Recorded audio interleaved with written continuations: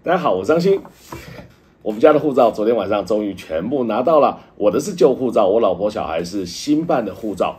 原本啊没有摆在一起，还没发现，放在一起之后才发现新旧版本的护照，嘿，还真的有点不同。前阵子不是有很多新闻在讨论中华民国的护照要改版了吗？那个时候我们也不以为意啊，觉得它就是个小事情吧，不会影响我们。嘿，今天放在一起，还发现，哎呦，那个时候的新闻还真的有那么一点道理。仔细一看，还真的有那么一点差异。但是先说在前面，如果不仔细看，还看不出来。今天咱们的新鲜事，就来看看这个新旧护照之间到底。改变了哪些东西？到底有意义还是没有意义呢？那我们就一起来看哦。大家看看上面这一张图，嘿，大家看得出来哪一个是新护照，哪个是旧护照吗？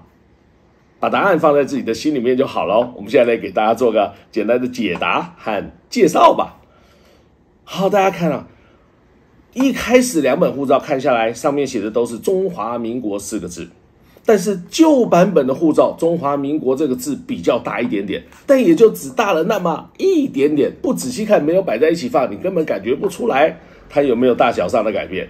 而第二行，哎，那个改变就有差异喽。你看“中华民国”的英文 “Republic of China” 不见了，新版的这个 “Republic of China” 不见了，旧版的还放在上面很大。不过这就是中华民国的英文嘛。中华民国是亚洲第一个民主共和国，结果在新版本的护照上面，哎，这个英文好像消失了。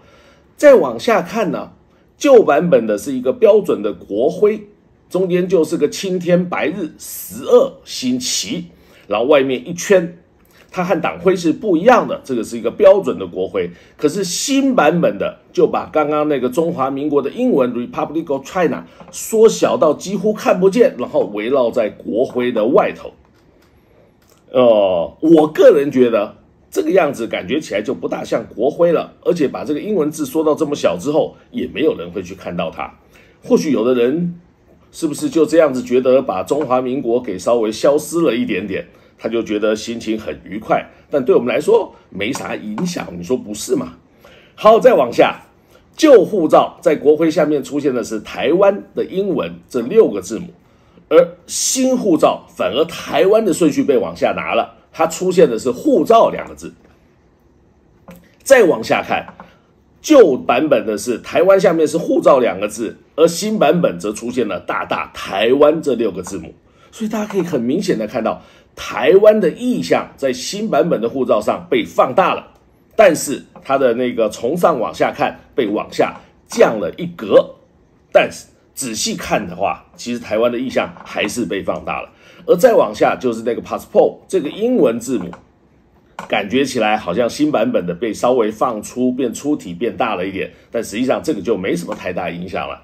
好嘞，如果我们现在再把这两个护照放在一起看一下。你会觉得有什么太大差异吗？我们的政治性格没有这么强，我们并不是个政治性的动物，所以这两个护照摆在一起根本没什么感觉嘛。或许有些政治动物，或者是对这些想法非常明显、强烈的人，他会在这一点点小小的变化当中寻求到一丝丝心理上面的安慰，但对我们来说，好像真的没有什么太大的影响。